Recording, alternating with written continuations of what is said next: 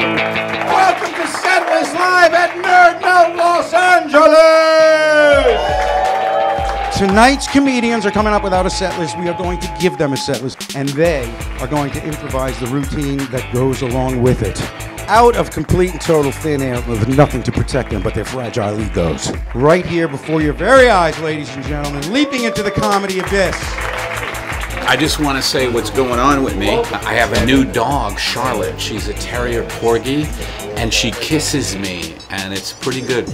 I'm making great progress with my therapist uh, as far as uh, vulnerability, and that's what's that's kind of the update. Well, you're welcome the never before seen of Eddie Pepitone?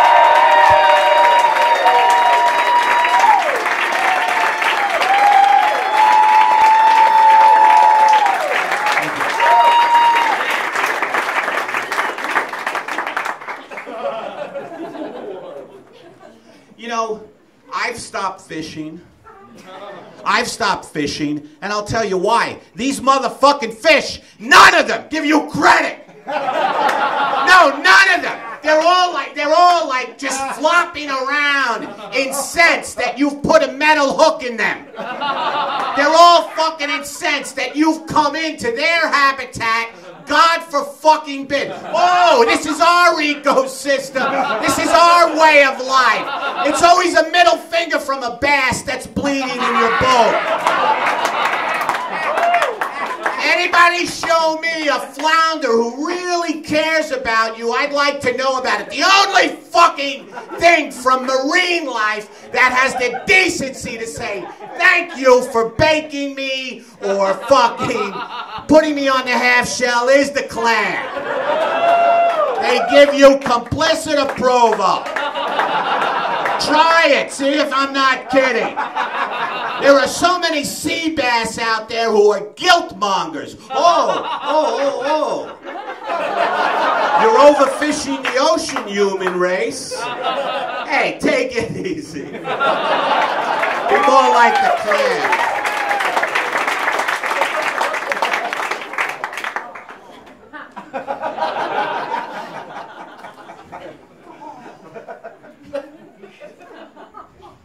Look, I like to walk dogs. I like to walk dogs like the next guy. I like to coexist with dogs. I love animals in general. I'm a vegan. Laugh if you will, but I am. And that's why the last tirade about the fish was funny to me because I actually feel the opposite. And those of you who are perceptive will realize that was the viewpoint of that, of that bit about the clam. But there is a little perversion I have when it comes to animals. I like to see them injured. I like when they are injured. All right? Vegan doesn't mean that you wouldn't mind if a cow has a fucking bad knee.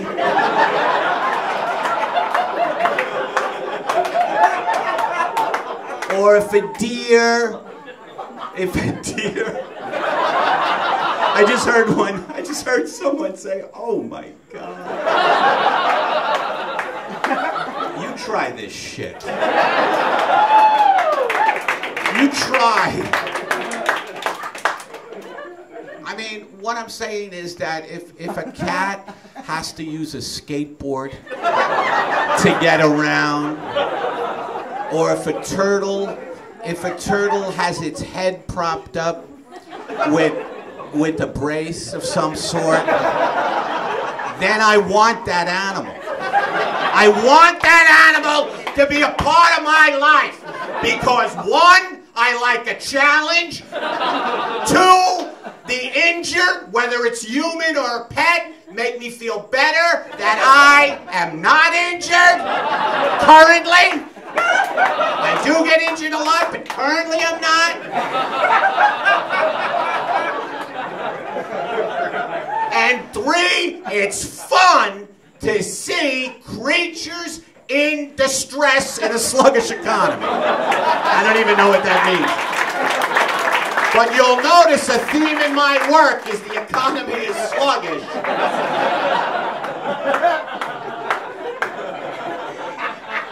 All right.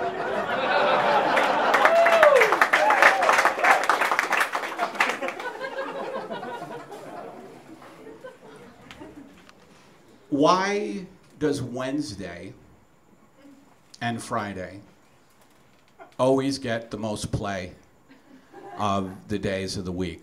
You know, you can blow me if you're saying Wednesday is hump day. Okay? Because, as far as I know, because of the economy, nobody works a nine to five job anymore. Okay? People are working all kinds of crazy fucking hours. The economy has hit the shitter. Yes, hipsters. People are hustling all over the place. There is no hump day, and there is no thank God it's Friday for people who work around the clock. The only thing there is is Trapdoor, Operation Trapdoor Tuesday. Which is when you're working your horrific fifth out of six job to keep your fucking head above water on Tuesday. There is a way you can get out of your fucking job. And it is done through the help of the one labor union left. And they've arranged a trapdoor where poor fucks who are working 90 hours a week can go down it only on a Tuesday, and they go down the trapdoor, and they're face to face with a beautiful, comfortable room, which is what everybody wants.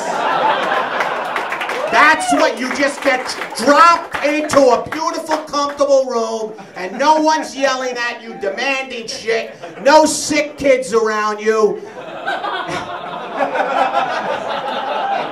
Nobody's got any kind of fucking disease. It's just a beautiful, comfortable room, and there's nice liquids.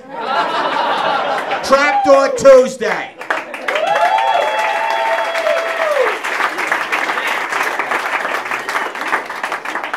Already? Okay. Yes, yes! I'm glad this is a topic. Look, the violence in this fucking godforsaken country is not gonna stop. And I'll tell you why, and you already know why, but guns are all over the fucking place. The United States is the biggest manufacturer of weapons on the planet and the distributor of weapons on the planet because it's all about making money. So the shootings are not gonna stop. The shootings are not going to stop.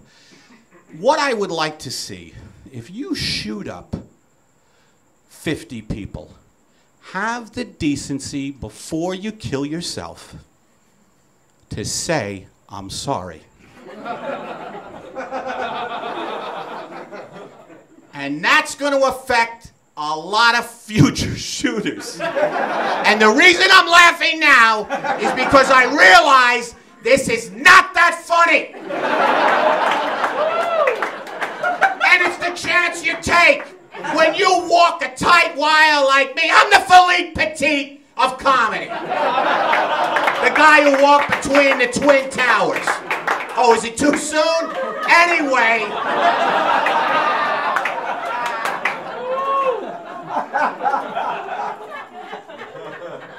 But we should have apologies no matter what we shoot. If we shoot off our penises, I like that I didn't curse there, huh? I could have called it a cock. Instead, I was like, Eddie, gently go into shooting off the, the penis.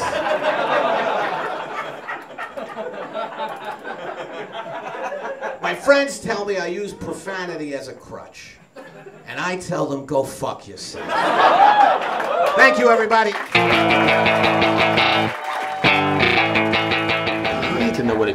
Like you. Eddie, you were on fire tonight. How you feel? No, I wasn't really on fire, but Yeah, um, Eddie, you'll get up next time, okay?